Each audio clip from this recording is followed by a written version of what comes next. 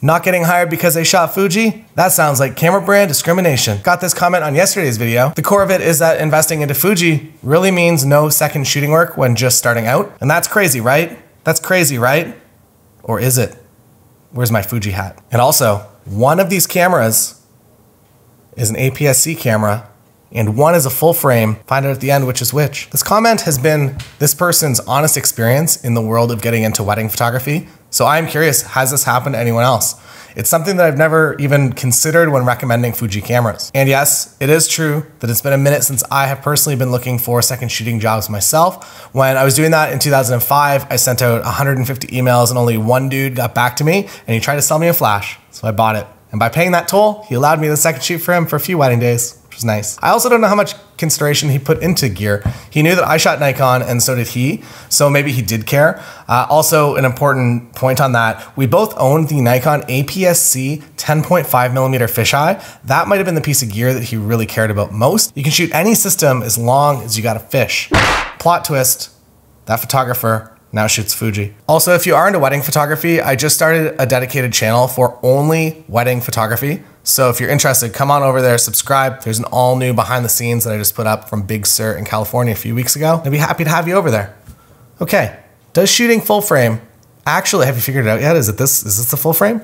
Is this the full frame? I'm going to attempt to look at this issue from a third party perspective and from a few different angles. And you let me know what you think in the comments. I'm also not going to lock this into just this specific experience, but to try and analyze why this may have happened to others in different situations with different photographers as well. For me, in my personal business, as long as you shoot one of the main four systems, I don't care which one. Imagen we'll process all the images to look like they're from the exact same camera anyways. And also if you're not on the AI editing thing yet and you're a wedding photographer, please use a link in the description. It has absolutely transformed my workflow and it is incredible. If you use a link, you get 1500 free edits rather than the usual 1000 edits if you just go to the Imagen website. Now back to Fuji. I think for this to make sense, I have to remove myself from what I know. Uh, maybe I'm too comfortable with Fuji as I use their cameras often. I've shot an X-T3 and X-T4 and an H2S on real wedding days as main cameras, and I've been very happy with the results. So to put my mind in a place that I have never used a Fuji camera, maybe it would be a little bit scary. Uh, maybe APS-C is a bad word because full frame has a better name when it comes to branding.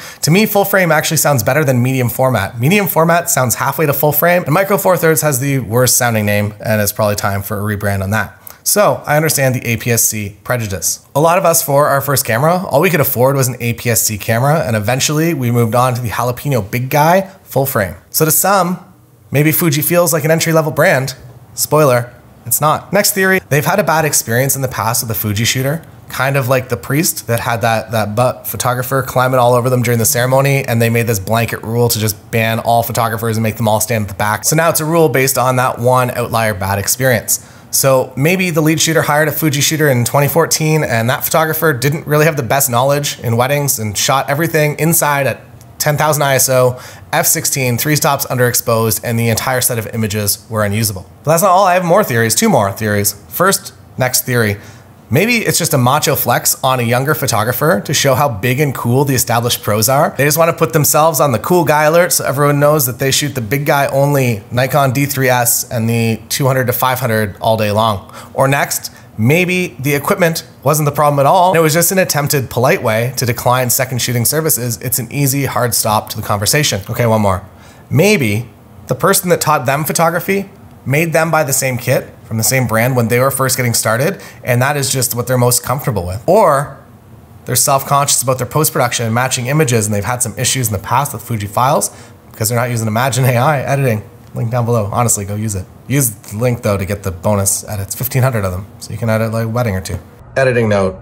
I feel like the easy answer is probably the correct answer, and that is just that people feel that full frame is the industry standard and that they haven't really looked into Fuji a whole lot and they haven't explored how great it is.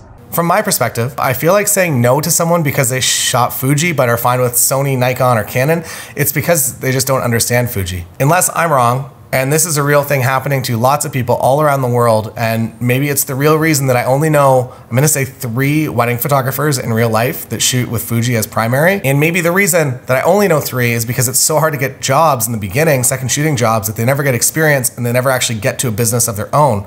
Is this true? What do you think? Have you figured out the camera yet? This one's the APS-C. And don't forget to go check out the all-new dedicated wedding photography channel on the screen right now. Don't forget to subscribe. So thanks for watching today here. And uh, yeah, let me know in the comments what you think.